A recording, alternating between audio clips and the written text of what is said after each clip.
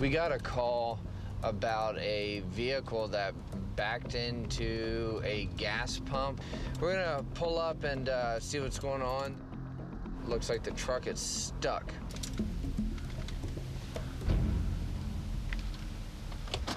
He is stuck. What's going on, man? Screwed up, man. What happened? How'd you, how'd you, first off, how'd you manage doing that? Yeah, and I was just impatient. It's, it's only checking, not debit. So instead of going in pain like I should have, I backed up. I just got distracted and uh, winched myself right in there. I mean, from looking at it, you think I can get winched to the left? I, mean, I just don't want to damage that pipe. How much have you had to drink today? Nothing. I'll take breathalyzer right now. Okay.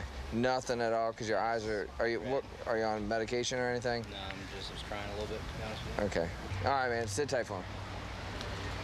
Um, luckily, nobody was hurt. There was no um, fire that happened as a result of it. He said that he uh, he had been crying a little bit, and I didn't detect the odor of alcoholic beverage on him or see any signs of impairment whatsoever. I think it's just uh, maybe the frustration got the best of him tonight. Did you were you here and saw it or? No, I'm, No, I'm the district manager. I don't think any of us. Okay. This is your all's place. Yes. Yeah. Obviously, the main concern is getting him off without uh, doing any more damage or anything. Yeah, try and cut just real slow, inch off. Nope. Turn to the left. A little bit farther. Pull. Come back a little bit. Stop.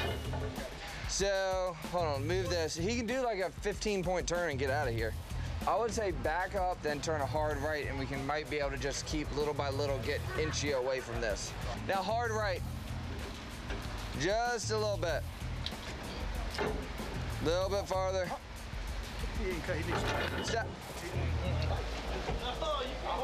I don't know if that's gonna work. You don't, think, you don't think good, strong men can. Yeah. I think we can lift the truck over. Come on, Basil. Come on, Durner. I mean, I hope it works. We got to bounce it. Like, all right, ready? All right, ready? One, two, three. Yep. You got it, man. All right, you got we're it. good. Yeah.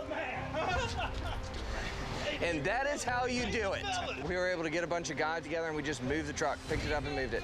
So uh, he's gonna be able to drive off now and uh, his insurance company will take care of it with the business owners. The police are here to protect the service. Everyone should take accountability. We should all look to law and order. There should be justice. You should trust the police. It should be a lot more transparency. Come together as a We should nation. fight. should have been. We should